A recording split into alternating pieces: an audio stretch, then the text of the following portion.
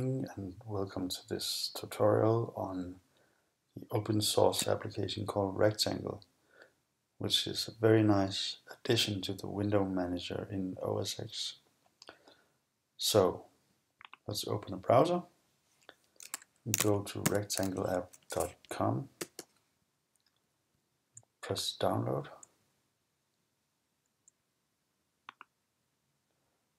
Double click that disk image like so.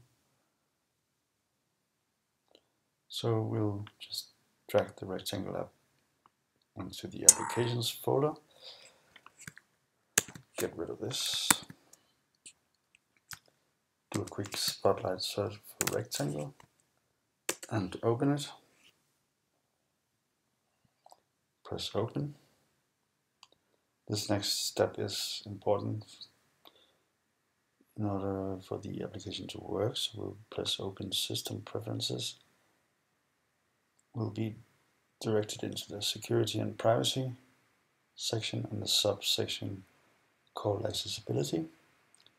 If we scroll down, we can see that rectangle is not checked. So press the padlock, type your administrator password. Check rectangle. In this next dialog box, we'll just press recommended. I'll close this. And this is just a preview of the keyboard shortcuts. Let's close that for now.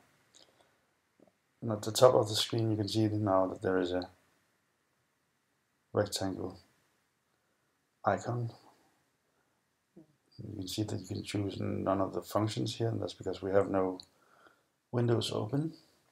So if I open four new random windows, like so, I could quickly arrange them like so.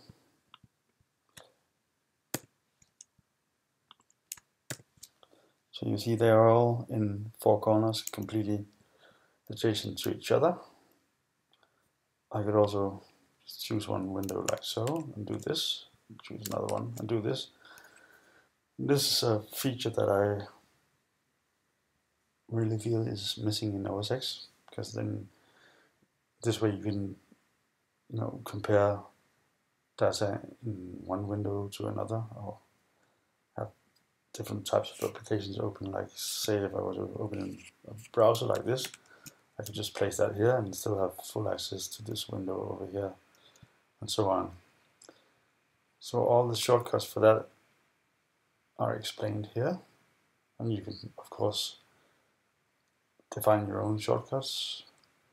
What you can also do is that you can drag the windows into these positions. So let's say I have some scattered windows like this.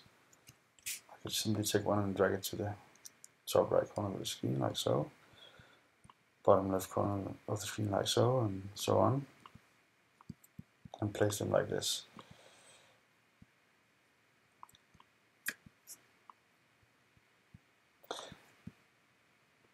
Another useful function in here, if we go further down, is the maximize function.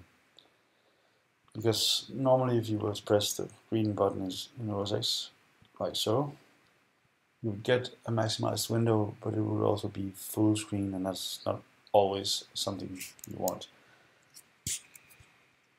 So if I press escape, no, rather like so, you press the keyboard shortcut Control Option Enter. You see that the window is maximized, but it's not in full screen, so that can be very handy as well. So there's a final feature that I want to go over in this application. And that's the enable to do mode. Just to make sure that that's actually shown in this menu you can go to preferences and go to this cog and you can make sure that is a check in show to do mode in menu like so so close that let's say we want to have a text document or text edit application like so. And we want to have a, a common denominator between different apps or windows. You can go in here we can say enable to do mode, like so. It will place itself on the right side of the screen. And all your other applications or windows, let's say this is Safari.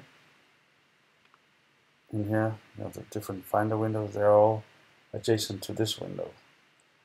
So they can be handy if you try to overview of things and you're describing something in this document and you're switching between other windows, files, folders, applications, and so on. So, but if you open a new application in this process, so I'll just open this, you can see that that overlaps our original to-do application. So there is another function in here called reflow to do, which has a neat little shortcut, Control Option N. So that means if I press Control Option N, this the newest applications that I've opened, they place themselves adjacent to this window. So that's very nice. Thank you.